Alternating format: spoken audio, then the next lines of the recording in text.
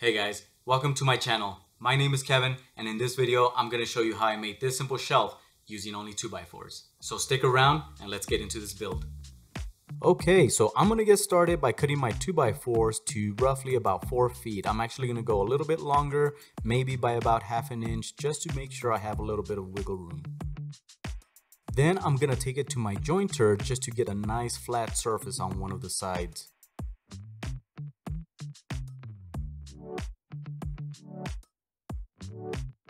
Once I've made a couple passes and I'm sure that my bottom is nice and straight, I take it over to the planer uh, and make sure I make the opposite side nice and flat as well.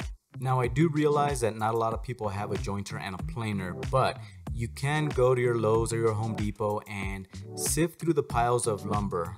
Find yourself the straightest 2x4s that you can find and then at the table saw you'll want to cut out the rounded edges and uh, that way you have some nice and flat surfaces that uh, you'll be able to glue. Once I had three flat and squared edges, I took it over to the table saw and cut the final side.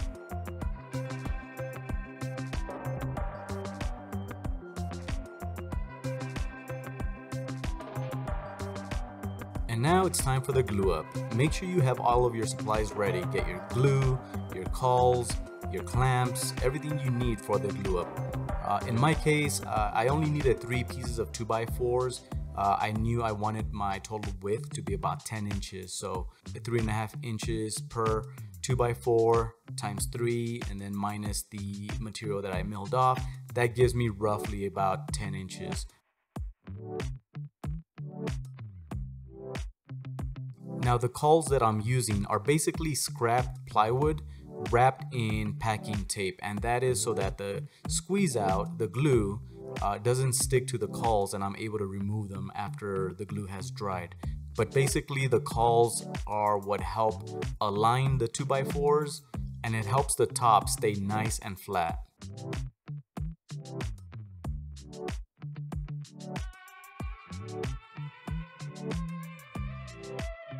Now I usually let the glue dry overnight before I start removing all the clamps. And like I said, the cauls come off very easily with that packing tape. If for some reason they don't, you could use a rubber mallet and just kind of tap them off. And that usually works pretty well. When it comes to removing the squeeze out, uh, some people like using a wet rag and removing the, the squeeze out before it dries. I let it dry and I use this scraper to knock off all the uh, squeeze out. So you can see here all the beads just come off very easily.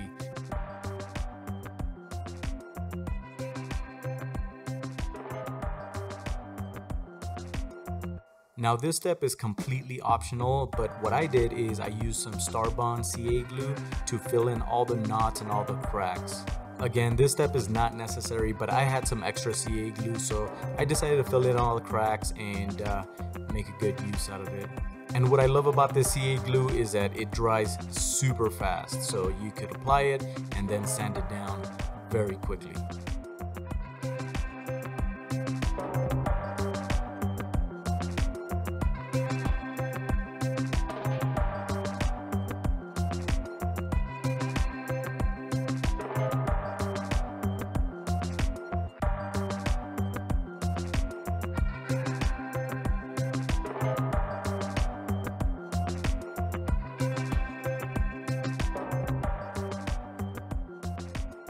Then I took it to the table saw and used my crosscut sled to cut my shelf to final length.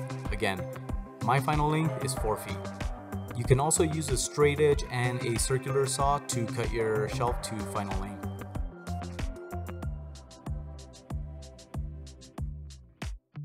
Before applying any stain, if you're using 2x4s or any porous material like pine, make sure you use pre-stain. If you don't use pre-stain, you, you run the risk of getting blotches in your stain once you apply it.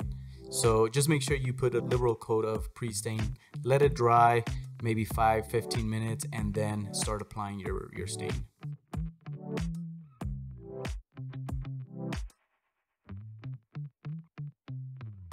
I decided to go with a cognac stain by Varathane.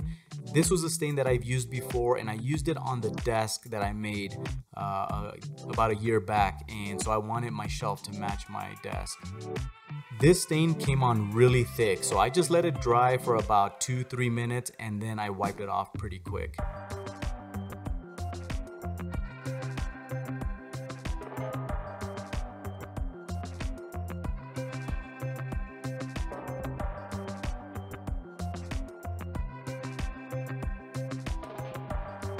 So this is what my desk started to look like. It basically became a catch-all desk for just everything. I know a lot of this stuff I'm never gonna use again, so I'm either gonna box it or basically just throw it away.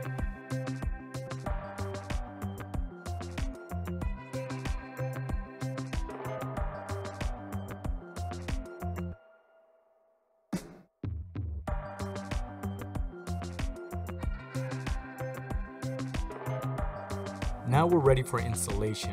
The set of brackets that I got comes in a set of four, but I'm only gonna use three. I think three is more than enough to support this shelf and anything that I'm gonna put on top of it or anything that I'm gonna store on the shelf.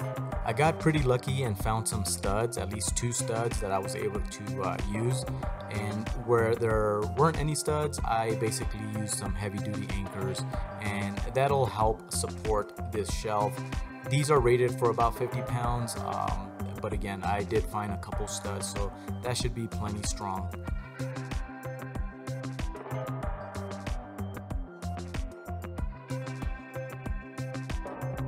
Once the brackets were installed, I went ahead and placed the shelf on the brackets and it was a little bit lopsided so I used one hand to sort of hold it down while I used my other hand to screw in a couple of the, uh, of the screws.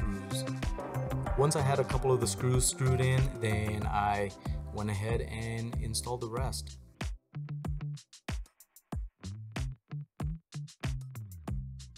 And this is what the shelf looks like installed. I really hope you like this simple shelf build. Um, if you can, please go ahead and subscribe if you haven't done so. If you like the video, give it a thumbs up. That really helps me out a lot.